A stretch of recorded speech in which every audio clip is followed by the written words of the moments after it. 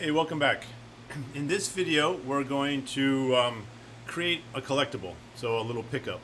Um, I'm using kind of the generic coin type thing and just some real simple shapes that are inside of uh, Unreal Engine that we can use along with some of the stuff in the starter content uh, to be able to make this. And um, again, if you're just joining us for the first time, you don't know what's going on, you want to check it out, you can go to Putting on the Fritz uh, 3D Visualization, my YouTube channel right here, and uh, go check it out.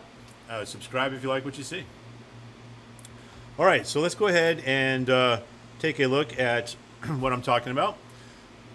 So right here again is the demo game. And I'm going to hit play. And I'm going to roll over here to one of these coins and we're going to do a pickup, okay? We're going to add sound to it, add a little particle that's available, okay? And make it so that uh, it rotates.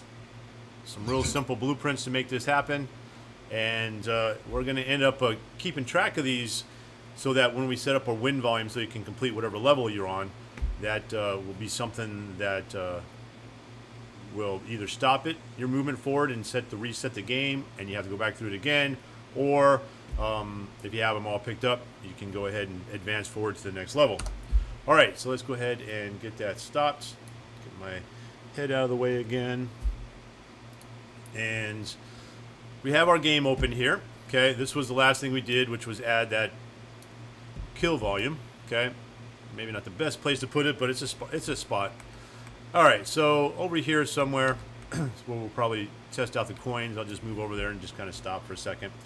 So what we want uh, want to do again is uh, we're going to need to create another folder and let me see how I have my stuff set up here. Yeah, we're going to go ahead and go into our content drawer, into our blueprints, okay?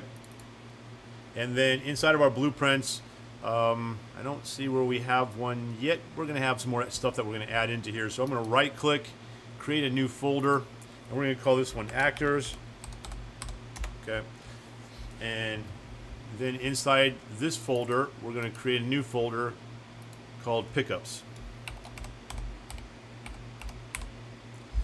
Something like that.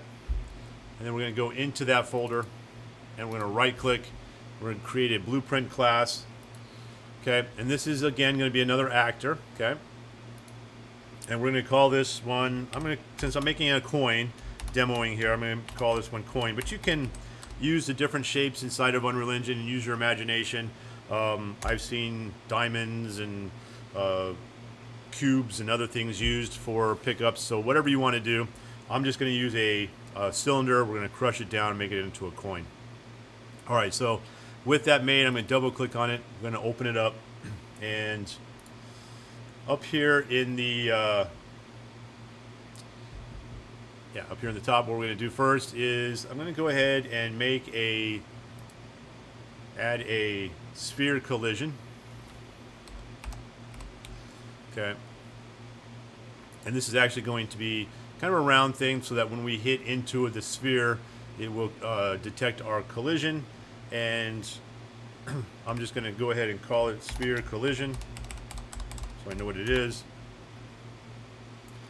And then the next thing I'm going to do is I'm going to add in a cylinder. Okay. And it's really big right now, but we're going to have to shape it down to what we want it to be. Okay. And I'm going to name this cylinder coin. Okay. All right. So with the sphere, what we're going to do is we're going to go ahead and rotate it in the x-axis 90 degrees. So now it's on its side.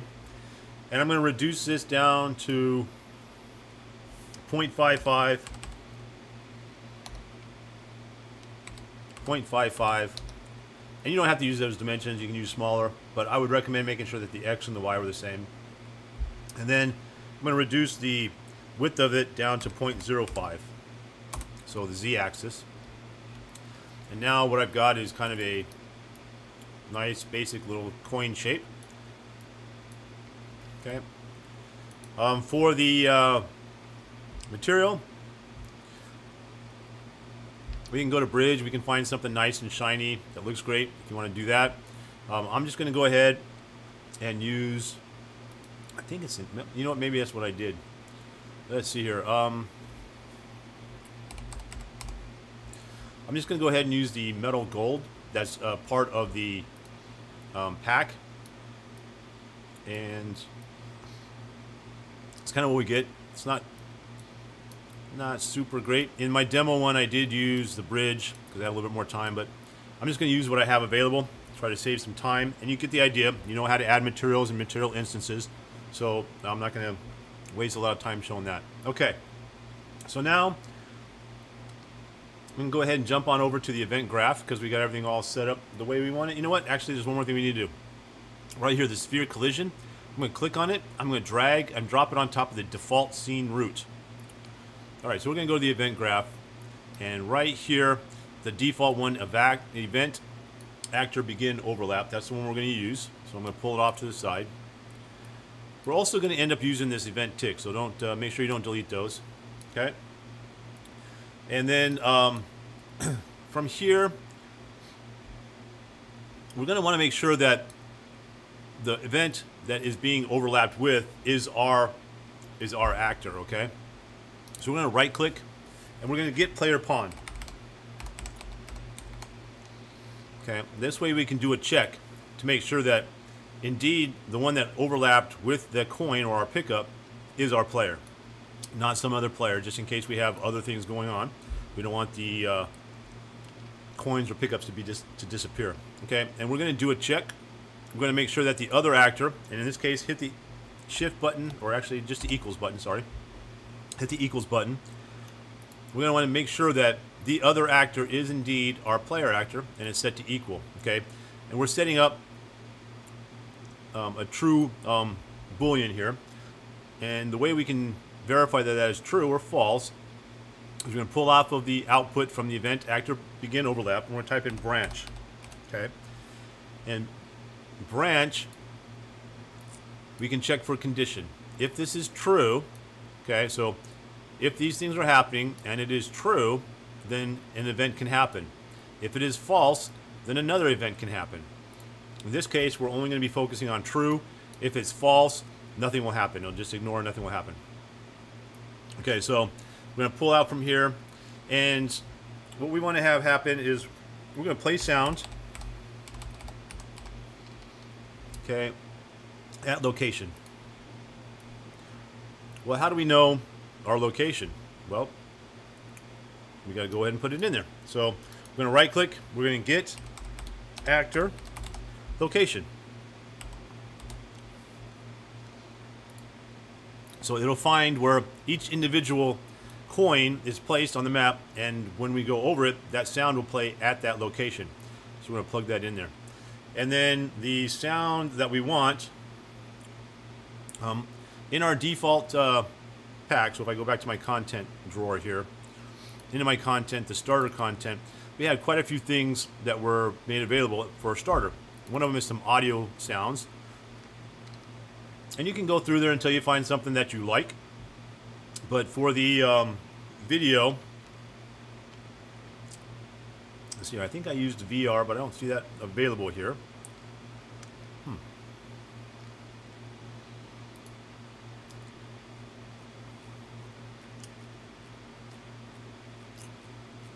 Okay, so there's a lot more besides in the starter content. So you can go through the starter content and kind of find some of the ones you want. There are also um, some that are embedded inside of Unreal Engine as well that don't show up in the starter content. And uh, what I used was the VR close Cue. This one right here, VR close Cue. Okay, and that's the sound that will play. That little bloop, uh, bleep bleep sound that you heard at the very beginning when I was demoing it and we'll, we'll hear it again here in a minute. The next thing I want to do is I'm going to uh, spawn that explosion. So remember in the video we had that little explosion? I'm going to pull out from here, and we're going to spawn emitter at location. Okay, and that location is going to be the same location that we already used for our player. Okay, and the template right here, the emitter template, is going to be this P explosion that's part of that particle pack that came as part of the uh, starter content. So I'm going to use this explosion. There's other stuff you can look through there. If there's something else you want to use and try, try it out. I'm going to use that one. It's going to auto destroy. We're going to leave that away alone, and it's going to auto activate system as well. We're going to uh, kind of have a little bit of a delay for all of this to happen. Okay, and I'm just going to use the default 0.2 uh, delay. We can always come back and change that if you want. We can even put a variable together if you want to adjust that variable um, for delay. And then at the very end of all this, we're going to destroy the actor. Okay, and that will be the coin.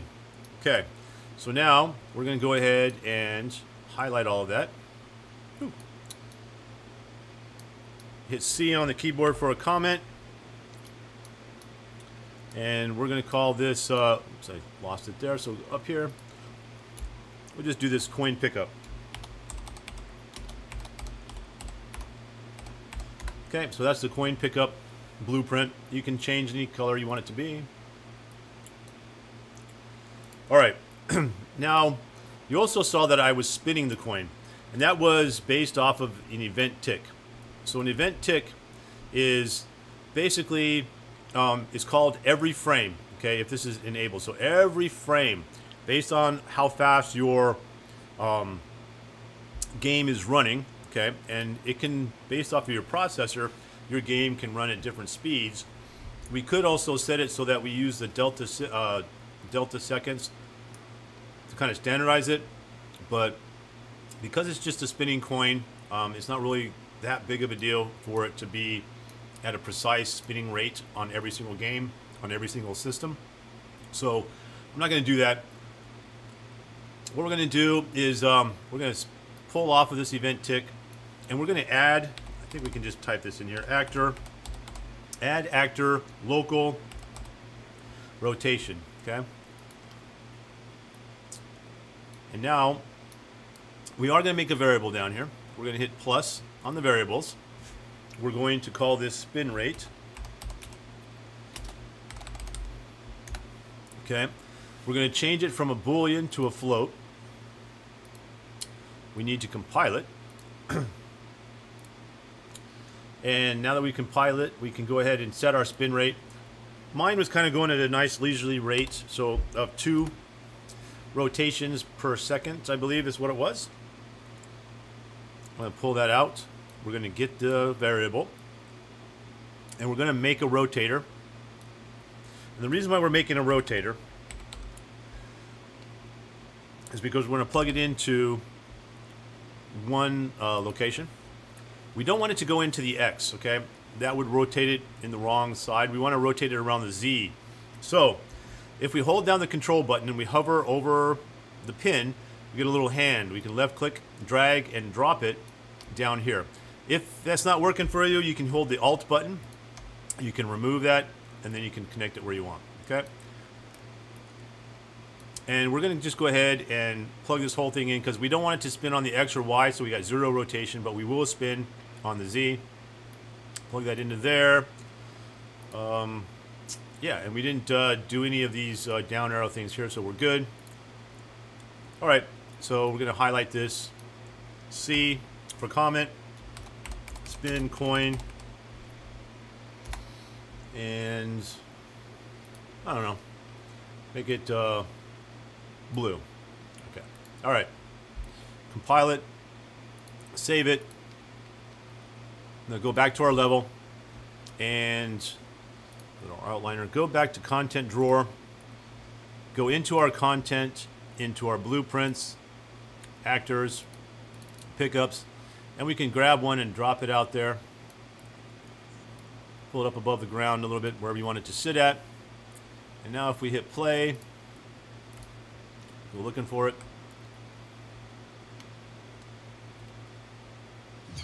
Ah.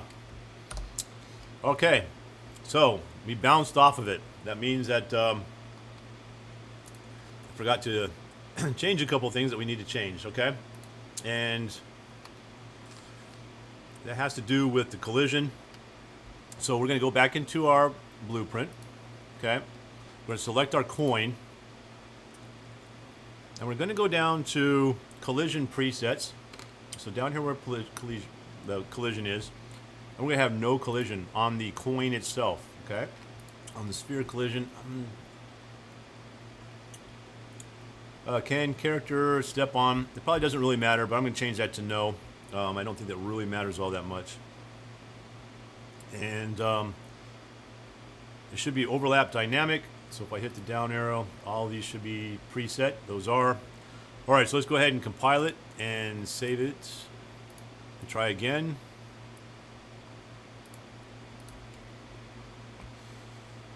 And hopefully, if everything's worked right this time, we'll go right through it.